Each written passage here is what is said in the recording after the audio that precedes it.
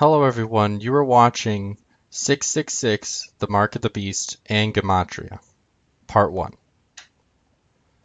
Um, so when I first thought of the idea of making a video about 666, The Mark of the Beast, um, I thought, well, you know, that's an interesting idea and it'll be simple. Well, I was wrong. Um, in part one, I'm going to go through just the Mark of the Beast um, in general, how to uh, calculate the mark. Nothing to do about who is the Antichrist or the Beast or anything like that. Um, and then part two, I'm going to go over um, information about something called gematria, which I I believe is a little bit different than calculating. Um, but I'll go over that in the next part. So so this part is pretty simple, but it I've uh, broken it into two parts because I wanted to make sure that it wasn't too long. Last video I went into the second part went 40 minutes and that was too long, so uh, I broke it into two parts. Hopefully that doesn't happen again. All right, so the first beast, the second beast, and the mark of the first. Basically, what I mean by that section is um, what I kind of just explained that um, I'm in this video I'm going to be talking about the first beast, the second beast, and then the mark of the beast, which would be the first beast. So um, to begin with, we are going to read um, certain verses in Revelation chapter 13. If you would like, um, you can go through chapter 13 by yourself and read the whole thing. Um, in this video, and um, maybe even more so in the next video, I'm probably going to be um, referencing verses that I've either already referenced or referencing verses that I haven't even mentioned in this section. So, Revelation 13:1 says, "Then I stood on the sand of the sea. I saw a beast coming up out of the sea, having ten horns and seven heads. On his horns were ten crowns, and on his heads blasphemous names." Revelation 13:8 says, all who dwell on the earth will worship him, the beast. That's my insertion there. Everyone whose name has not been written from the foundation of the world in the book of life of the Lamb who has been killed. Another way to translate this verse is everyone whose name has not been written in the book of life of the Lamb who has been killed from the foundation of the world. The difference is um, the what from the foundation of the world means. Um, the in Greek, then uh, because of the way that the sentence is put together, um, it could either mean this translation, everyone whose name has not been written from the foundation of the world in the book of life, or it can mean um, of the lamb who has been killed from the foundation of the world. So it's in English, you move the phrase from the foundation of the world to make it say different things.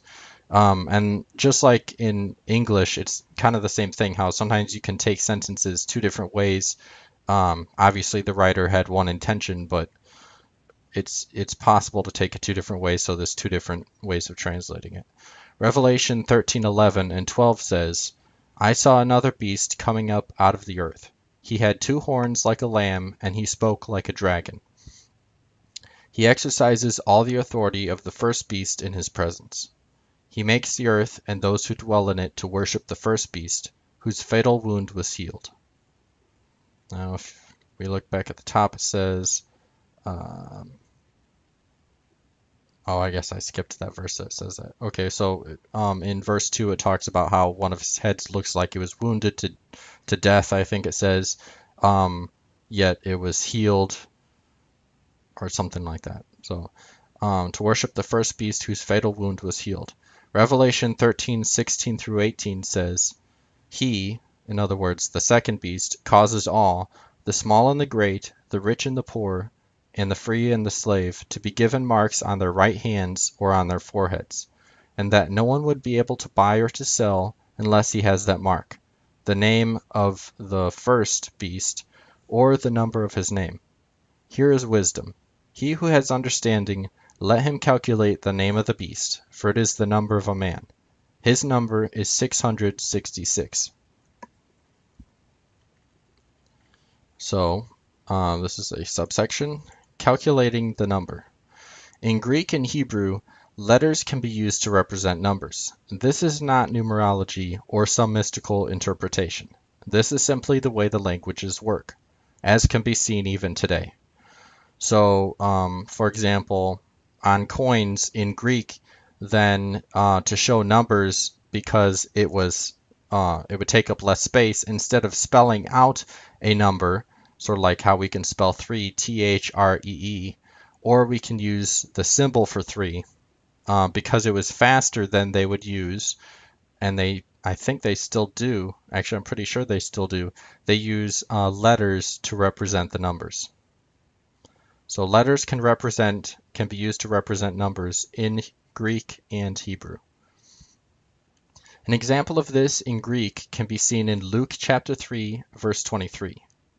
In English it reads, Jesus himself when he began to teach was about 30 years old, being the son, as was supposed, of Joseph, the son of Heli.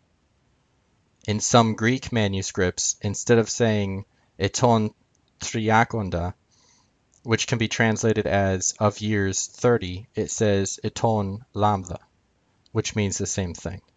So, like I was saying about um, spelling out a letter versus writing the symbol for a letter, this is 3, or I'm sorry, not 3, 30. This is 30 in Greek, triakonda. This is also 30 in Greek, lambda. Now, one thing I want to point out is first, as I said, lambda is a letter and it represents 30 in Greek. This symbol right here, I'm going to highlight it. That symbol right there is um, a symbol that signifies that the group of letters that precedes it, so in this case only one, lambda, is um, not a word but a number. So lambda, this this uh, symbol represents that lambda is a number. Another example can be seen in Revelation chapter 13, verse 18. In English it reads, Here is wisdom. He who has understanding, let him calculate the number of the beast, for it is the number of a man. His number is 666. In some Greek manuscripts, instead of saying exekosia, exekunda, x, which can be translated as 666, it says chi, xi, stigma and again you'll notice the symbol here. It sort of looks like a um, an apostrophe like a, a slanted apostrophe um, but it's not.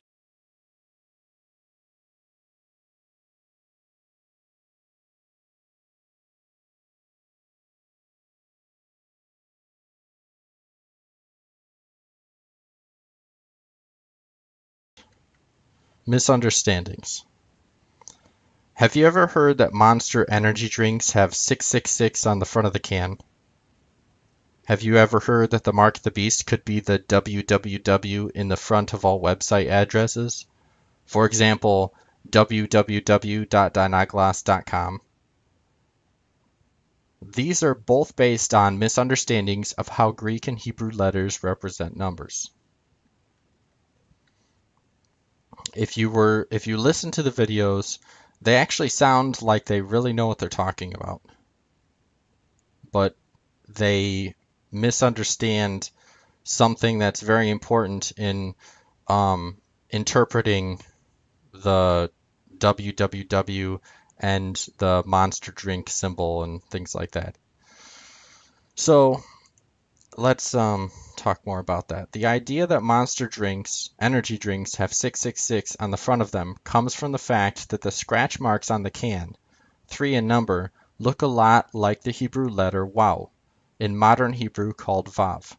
And I, I'm ho- I hope I'm saying that correctly.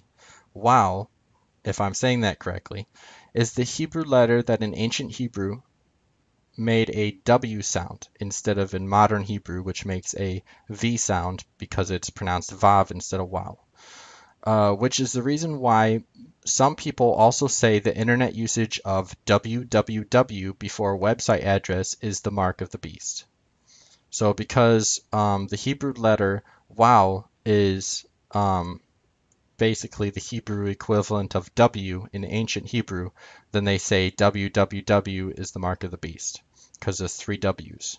I don't know if you know where I'm getting at, but so wow, shown here. This is in Hebrew, which I don't read Hebrew, but um, I work. I'm gonna work around that a little bit in this video.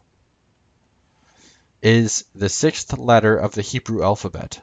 I'm not sure if this is true with Hebrew, but with Greek, the sixth letter can be used to represent the number six. So now maybe you kind of see where I'm getting at. So does this mean the three marks on monster drinks are the mark of the beast? What about www before a website address? Is wow wow wow the same thing as 666, the mark of the beast?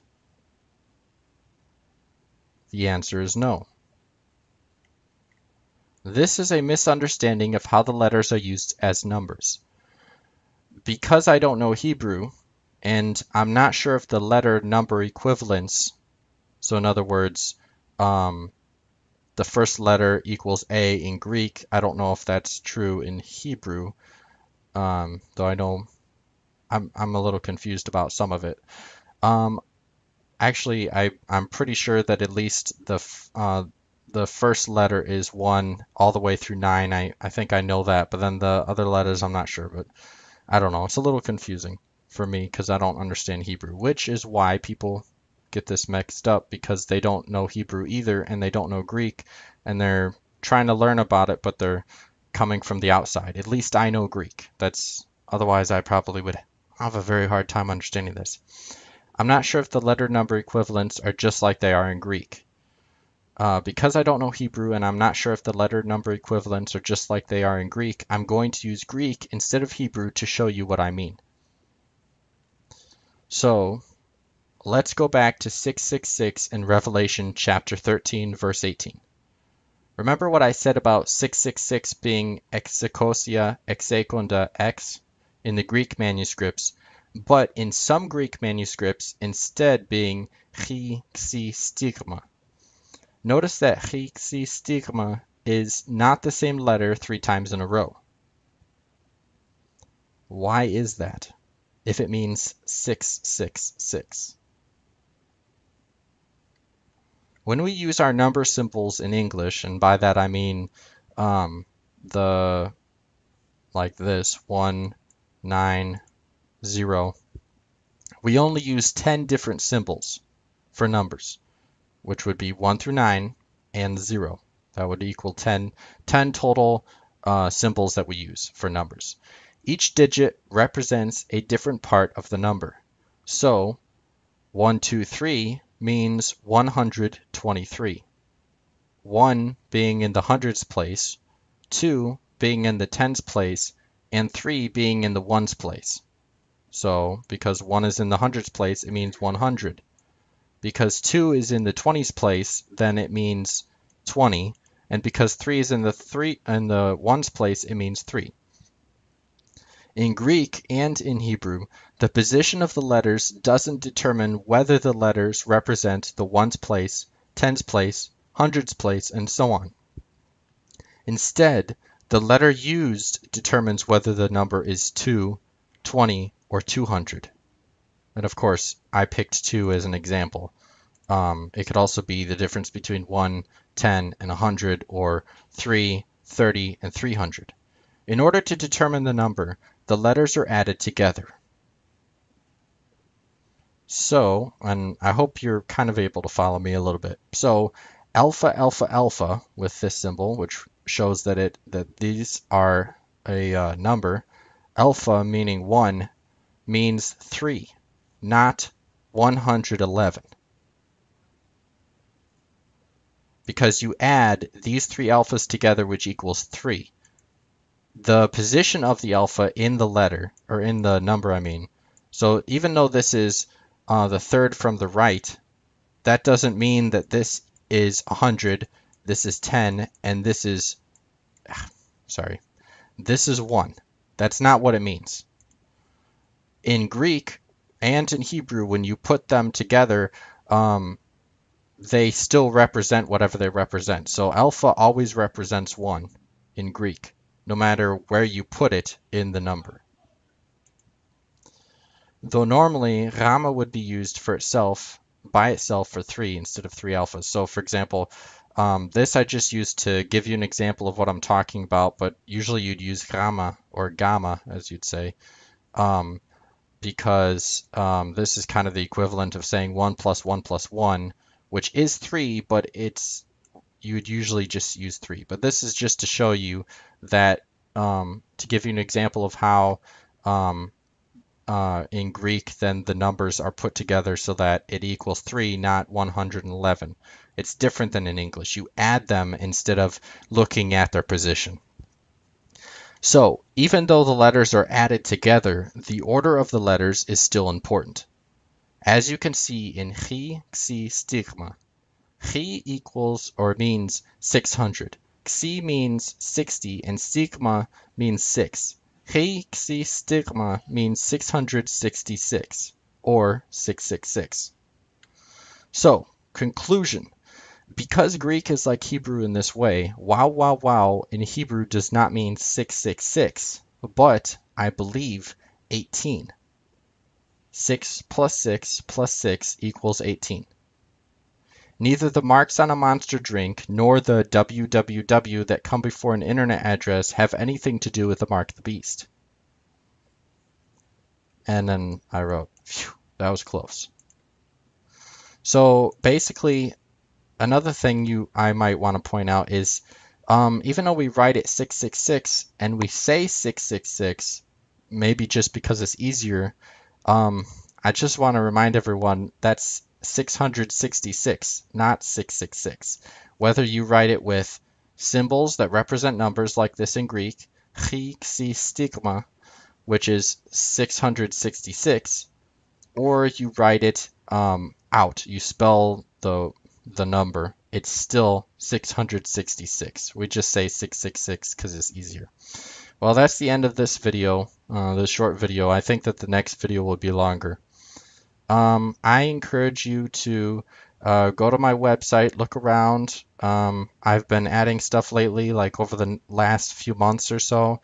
Um, and if you uh, if you in, uh, like what you see, then or you or you would like to uh, ask for something else, um, then just tell me. You could uh, there's a contact form on my website.